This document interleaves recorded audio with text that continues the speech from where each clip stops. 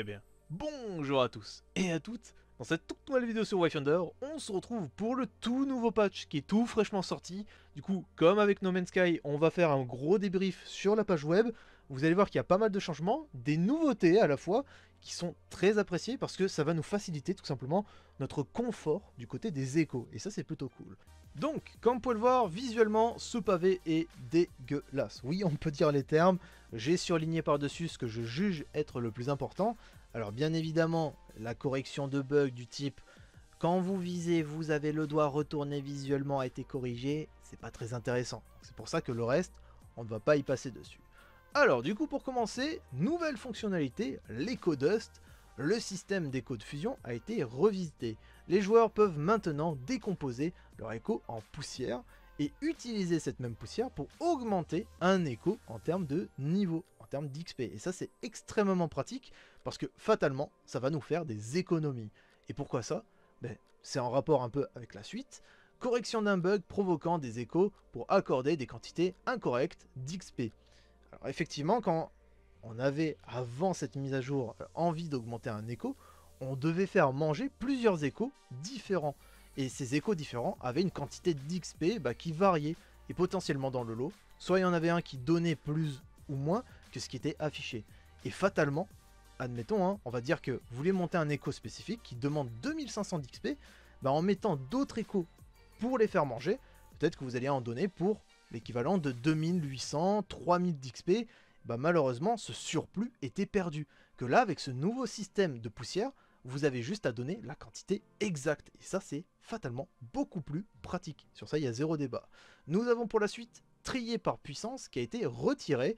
C'est très logique en soi parce que bon maintenant quand on est au stade où on en est sur euh, on ne fait plus trop ça. On ne trie plus par la puissance parce que ça ne sert pas à grand chose.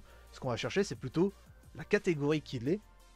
Donc automatiquement, dégâts critiques, euh, augmente les PV, enfin voilà, ce genre de catégorie là. Et ça va être plus tard, comme ils disent là, mais je ne sais pas si ça va être vraiment utile, euh, nous implémentons une version plus informative de ce type plus tard. Alors, euh, est-ce qu'on va vraiment l'utiliser? Ça c'est un peu le mystère. Ce qui devrait vraiment mettre, et qui serait extrêmement utile, c'est de mettre en ou alors en recherche spécifique, eh bien, les catégories des échos. Admettons, dans l'écho, vous avez euh, augmente les PV et augmente la résistance aux dégâts physiques, bah, vous mettez ça comme catégorie. Et pour aller même encore plus loin, si vous voulez mettre deux catégories en même temps, pour du coup afficher l'écho qui possède les deux catégories, bah, ça serait possible. Et ça, automatiquement, bah, c'est beaucoup plus pratique parce que si on veut chercher un écho qui a augmente les PV et augmente le taux critique, on sélectionne les deux et on voit s'il existe. S'il apparaît, c'est qu'il existe. Et ça, c'est extrêmement pratique. Alors, pour la suite, il existe désormais une limite d'articles pour les échos, 300 au total, et les accessoires 100. Voir le canal d'annonce pour plus de détails, on ira le voir juste après. Affiche, euh, ajout pardon, d'avertissement pour, pour savoir quand les joueurs approchent de l'une ou de l'autre limite d'articles. Lorsque vous avez atteint la limite, vous ne pouvez rien récupérer avant d'être de retour en dessous de la limite. Alors, on va aller sur le site, enfin sur le site, sur le Discord de Wayfinder. Et comme vous pouvez le voir, ici nous avons bah, le nouveau système d'écho en poussière. Donc comme vous pouvez le voir, il va sélectionner un écho et il va le supprimer en bas à droite. Et ça va augmenter sa poussière juste ici. Donc ça c'est une des mises à jour qui a été montrée. Et comme vous pouvez le voir, juste en haut à droite, vraiment dans le coin, nous avons 35 échos sur 300. Eh bien, on sera limité. Et si vous dépassez, bon, il faudra supprimer ce que vous avez en surplus. En soi, c'est pas très grave parce que la majorité des échos que vous avez récupérés nous servent quasiment à rien dans l'inventaire. Donc autant en faire de la poussière pour que ça soit vraiment utile. Donc ça, c'est une très bonne mise à jour sur ce point-là. Pour la suite, nous allons avoir... On était où? Tac, tac, tac. Euh, je me suis perdu. Donc la limite, voilà, juste ici. Nous avons du coup les boss qui ont été augmentés en termes d'XP augmenter l'XP pour les chasses par x3 et les mini-boss dans les expéditions de 1,5. Petite coupure dans la vidéo pour vous expliquer qu'il y a eu un petit problème avec le modificateur d'XP. Sur ce premier message, il nous dit que l'XP de la chasse, des boss si vous préférez, n'était pas enregistré et du coup ils ont enquêté. Et sur le deuxième message, ils nous ont dit qu'ils ont trouvé ce problème et donc il va y avoir un correctif début de la semaine prochaine. Voilà, c'était pour vous mettre au jus parce que lors de la vidéo, je n'avais pas fait attention à ce petit message. Sur ce, je vous dis bonne vidéo C'est très intéressant parce que automatiquement, le farm d'XP à l'heure actuelle, c'était un bordel. Au tout début du jeu, ça allait. Ils l'ont changé. Et là, ils le re-augmentent. Ce qui est extrêmement pratique parce que si vous voulez augmenter le Wayfinder et l'arme, bon bah c'était un peu la galère. Mais maintenant, c'est déjà beaucoup plus pratique. Donc ça, très très cool. Les accessoires peuvent désormais être vendus chez Venge Shop à Skylight. Donc effectivement, maintenant, on peut enfin vendre notre surplus. Alors si vous voulez recycler les échos, les... Euh, enfin non, pas les accessoires, qu'est-ce que je dis Même pas les échos. Les échos, on peut que les recycler. Et les, et les accessoires, pardon, on peut, oui, les vendre. Donc effectivement, si vous voulez vendre les accessoires, vous allez voir ce vendeur. Et essayez de voir ce qui est vraiment inutile, vendez le plus cher limite, ce qui ne vous sert à rien parce que il y a potentiellement certains, certains accessoires, je bégaye un peu, désolé, qui valent cher et qui sont simples à farmer. Il faudra juste essayer de dénicher lesquels. Et ça, ça serait très intéressant de savoir lesquels surtout. Avertissement, lors de la première charge de l'écran de vendre, les accessoires équipés s'affichent dans le panneau All, donc dans le panneau Tout, et peuvent être vendus sans avertissement au lecteur. faites attention.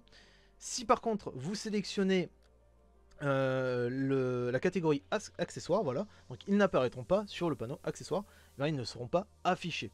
Donc si vous êtes dans la catégorie tout au moment de vendre, faites attention, tout ce qui est équipé sur vous sera affiché. Donc potentiellement, vous pouvez vendre bah, un accessoire que vous avez essayé de dropper et malheureusement, ça serait con de le vendre parce que vous n'avez pas un, système, en tout cas un menu qui permet de racheter. Donc faites attention à ce détail. Tous les accessoires acquis seront vendus à leur coût prévu par niveau d'accessoire. C'est vrai que c'était le cas.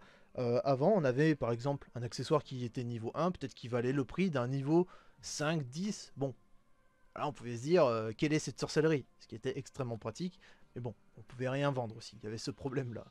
Correction d'un problème où les pièces d'aide n'étaient pas récompensées par le joueur comme prévu après avoir terminé les expéditions dans les zones perdues via le Helper Crest.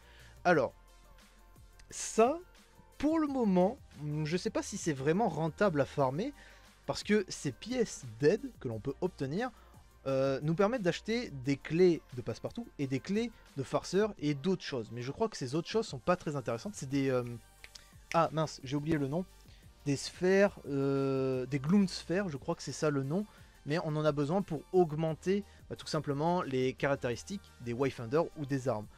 En vrai, les acheter là-dedans, c'est pas très intéressant. Ce que je vous conseille à l'heure actuelle, c'est de garder ces pièces pour potentiellement, dans une future mise à jour, qui nous rajoute des choses à acheter. Et potentiellement, ce sera des choses intéressantes. Peut-être des accessoires assez cool pour bien débuter, tout ça. Enfin bon, voyez le genre. potentiellement, à l'heure actuelle, ne les dépensez pas, c'est ce que je vous conseille. Correction d'un problème obligeant les joueurs à rester coincés sur l'écran Veuillez patienter, tout en se retirant du menu Pack du fondateur Wayfinder pendant son ouverture. Alors ce bug du coup a été corrigé, ça c'est cool. Correction d'un problème obligeant Kyros, plutôt un problème sur le siphon radiant, le buff de capacité a dépassé sa valeur prévue de 10%. Donc ça a été réglé. Maintenant, si je comprends bien, ça reste à 10%. Je ne l'ai pas encore testé, Kyros. C'est un perso que j'aimerais bien essayer, donc on verra ça peut-être plus tard. La récompense de la tour... Euh, oui, la récompense de la tour de récompense d'émote, le baiser de venin, apparaîtra dans l'inventaire des joueurs si, quand il est déverrouillé. Donc ça c'est pareil, c'est une récompense, donc il fallait bien nous déverrouiller, en soi on a payé pour. Correction d'un problème qui faisait que le fourche d'affinité pour les vapeurs apaisantes de Venomess ne fonctionne pas. Donc effectivement, ça, ça a été réglé du coup. Ça, c'est plutôt cool parce que si je comprends bien, c'est la vapeur apaisante, c'est ce qui soigne. À l'heure actuelle, est-ce que certaines personnes avaient ce problème-là? Moi, je crois que quand un allié l'utilisait, euh, je me faisais soigner. Ou alors, est-ce que c'était lui-même qui ne se faisait pas soigner Si c'était le cas, bah, automatiquement, c'est réglé. Ça, c'est plutôt cool. Pour la suite, correction d'un problème provoquant le déclenchement de Venomess ultime dans la mauvaise direction. Alors là, ils disent pour Venomess, mais effectivement, c'est plutôt pour tout le monde. Donc, est-ce que tout le monde a été réglé à ce niveau-là? J'espère, parce que dans le cas, par exemple, c'est, je crois, Silo. Quand vous visez avec une arme, bah, allez savoir, votre écran, d'un coup, il se met à aller à l'opposé. C'est extrêmement relou, parce que quand vous utilisez bah, une compétence, quand vous utilisez, je sais pas, l'ulti, par exemple, dans le cas de Venomess, bah, malheureusement, euh, vous l'utilisez dans le mauvais sens. Et il n'y a rien de ce côté-là. Bon, bah, j'espère que c'est corrigé pour tout le monde. En tout cas, ça l'est pour Venomes. Et pour la suite, le temps de trajet amélioré vers l'instance, le logement du joueur, donc vers notre logement. C'est vrai que des fois ça a été un peu long, un peu buggé aussi, ça a été réglé. Et ça c'est plutôt cool, donc à voir après la vitesse.